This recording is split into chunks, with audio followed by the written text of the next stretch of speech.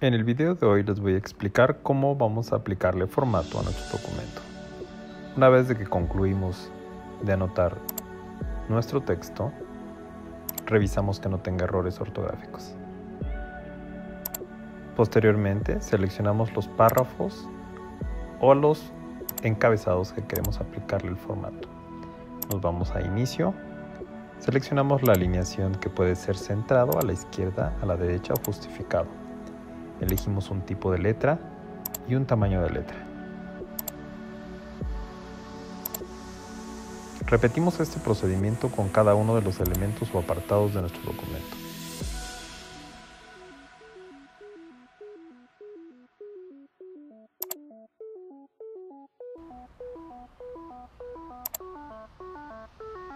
Lo hacemos también con los párrafos. Recuerda seleccionar cada párrafo para aplicar el formato.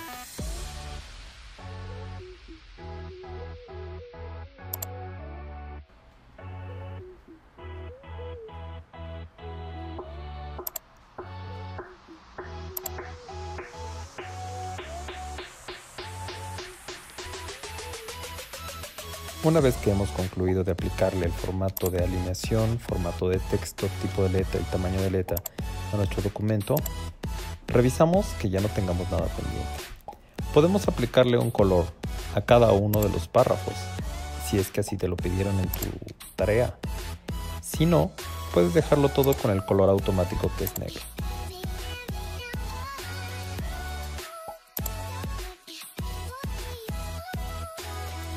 Otro de los elementos que tienes que aprender a utilizar es el interlineado. El interlineado puede ser de 1, 1.5, 2 o uno predefinido por el usuario. Recuerda que la indicación del maestro influye para que tú puedas aplicar un interlineado. Yo lo voy a dejar en el interlineado normal. Además del interlineado, tú puedes aplicar algo que se llama sangría, que es la separación entre el margen y el párrafo. Puedes aplicarlo de dos maneras. Uno que se llama primera línea, que deja el espacio de la primera línea separado del margen.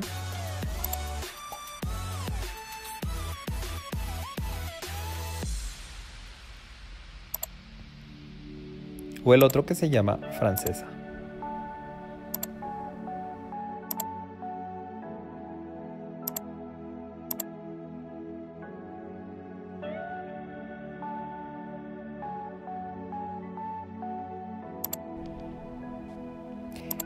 En este caso, yo voy a dejar los párrafos como en un principio, sin ninguna sangría.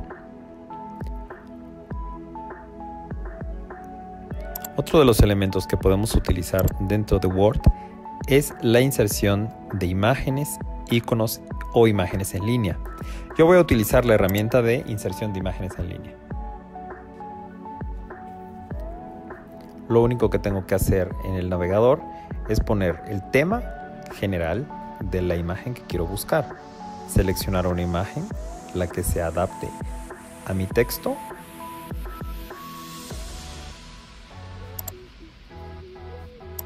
Y darle clic en insertar. Recuerda que cada imagen tiene que ser manipulada para que no modifique el formato de tu texto. Para ello le vamos a dar clic en herramientas de imagen y seleccionamos cuadrado. Luego puedes redimensionar el tamaño de la imagen y adaptarla al tamaño de tu párrafo.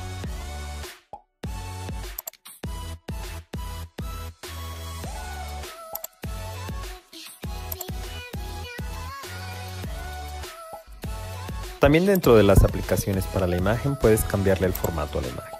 Es decir, puedes aplicarle un efecto para que se vea de manera diferente. Únicamente tienes que dar clic en esta sección que te muestro y elegir un borde para la imagen. Aquí dependerá de tu creatividad cómo mostrarlo.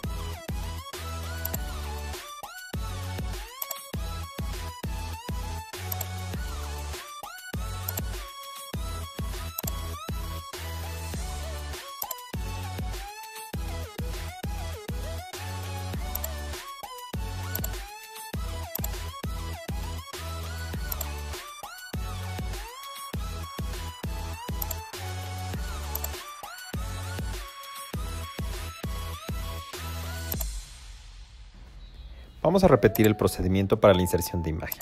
Nos vamos a insertar imagen en línea. Selecciono una categoría. Elijo la imagen.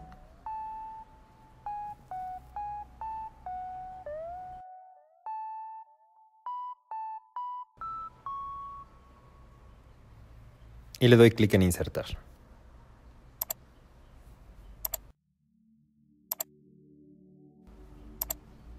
Recuerda que se va a mover todo tu texto. Para eso tienes que darle clic en formato de la imagen y ajustar el texto a cuadrado. Recuerda que se va a modificar todo tu texto. Para ello, tienes que darle clic en donde dice formato de la imagen, modificarlo a cuadrado y ajustarlo a tu párrafo.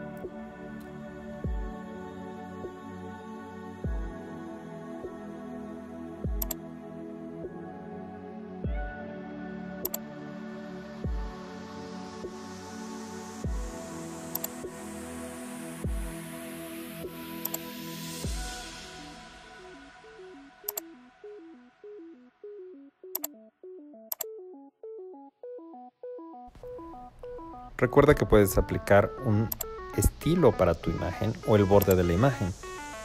Esto para que se vea de una manera más atractiva.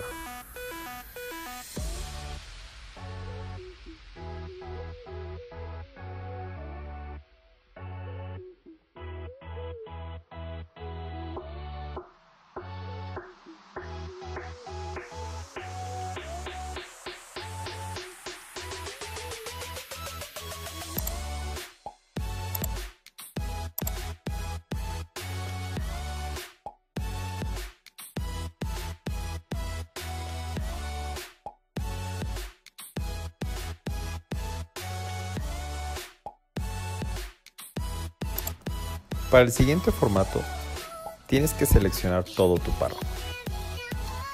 Una vez seleccionado el párrafo,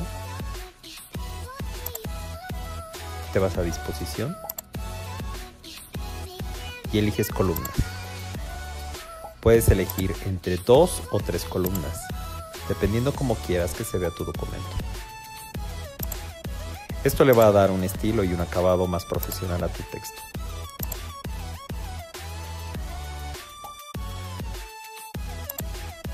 Recuerda que dentro de las columnas también puedes insertar imágenes. En esta ocasión yo voy a utilizar un icono disponible en Office 365. Primero entro a la categoría, elijo el icono que más me agrade, lo inserto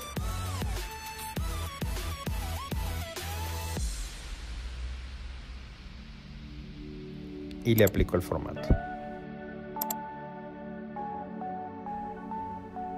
Recuerda de que por ser un icono también se comporta como una imagen, entonces lo puedes convertir en formato cuadrado, hacerlo más grande y más pequeño, incluso cambiarle el color.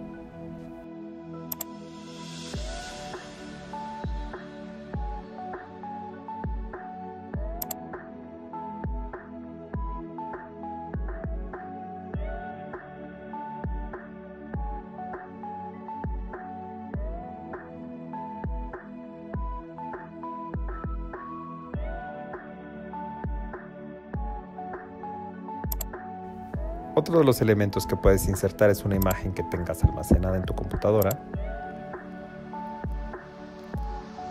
Poner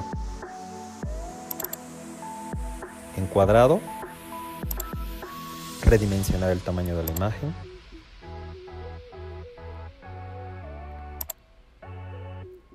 Irte a las herramientas de la imagen o al formato de la imagen. Transparencia. Disminuir la intensidad de la imagen. Y luego enviarlo al fondo del texto o detrás del texto. Luego lo puedes manipular, ampliarlo y centrarlo para que se vea en marca de agua, pero de fondo de tu párrafo.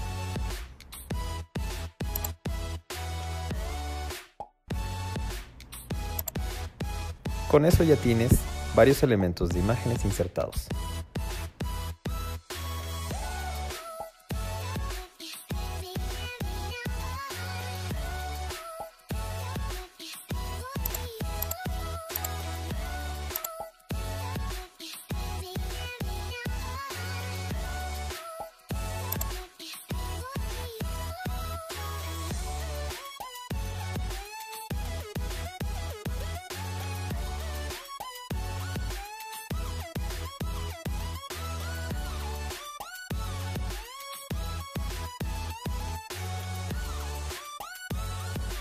En esta sección te voy a explicar cómo cambiar la disposición de tu documento.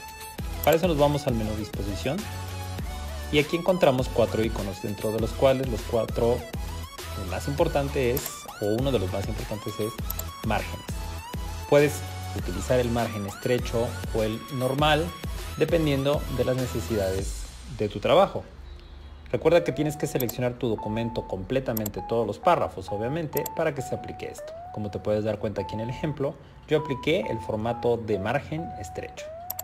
La orientación tiene que ver con la forma en cómo se va a visualizar tu documento, ya sea de forma vertical o de forma horizontal. Para ello te recomiendo de que consultes primero la rúbrica de trabajo y luego apliques este formato.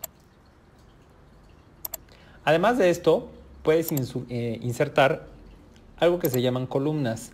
Las columnas periodísticas nos sirven para probablemente crear una especie de tríptico o darle una visualización mucho más profesional a nuestro documento. También en las columnas tú puedes insertar imágenes para que tu texto sea mucho más atractivo.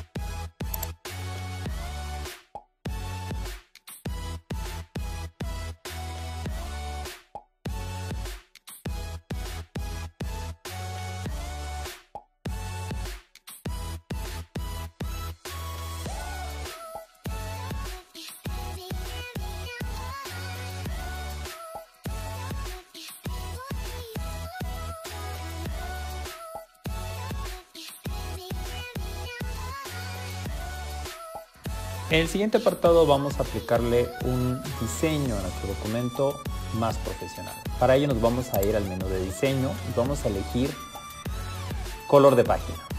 Dentro de color de página tú puedes elegir cualquiera de los colores de la paleta de colores que ahí se muestra. O puedes seleccionar efectos de relleno. Puedes jugar con las texturas para ver cuál de ellos se acopla a lo que tú estás buscando o definitivamente irte directo a donde está imagen. En imagen tú tienes que darle clic en seleccionar una imagen, la vas a buscar en línea, como en el caso que estoy mostrando. Estoy utilizando una hoja de pergamino. Seleccionas la imagen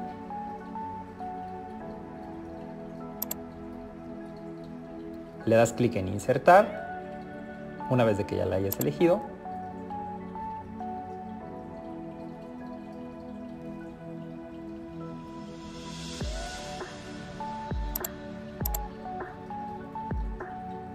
Volvemos a dar, clic en aceptar.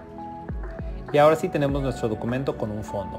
Te recomiendo que tengas mucho cuidado con este efecto porque hay algunos fondos que no se acoplan del todo a la hoja. Entonces yo lo que tuve que hacer fue distribuir mi texto en todas esas hojas. Pero dependerá de cómo quieras tú que se vea tu documento.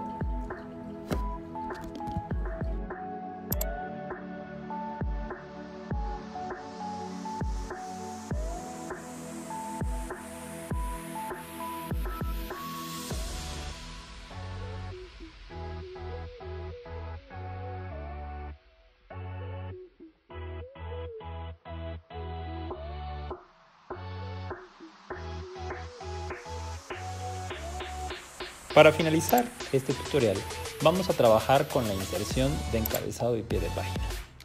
El encabezado y pie de página nos permiten personalizar nuestro trabajo. Únicamente tienes que dar clic en insertar encabezado, elegir en blanco y rellenar con los datos como por ejemplo tu nombre o la fecha o el nombre del trabajo. Únicamente tienes que hacer eso y si quieres aplicarle el formato de texto, alineación, negrita, cursiva, subrayado, lo puedes hacer. Aplica tanto para el encabezado como para el pie de página.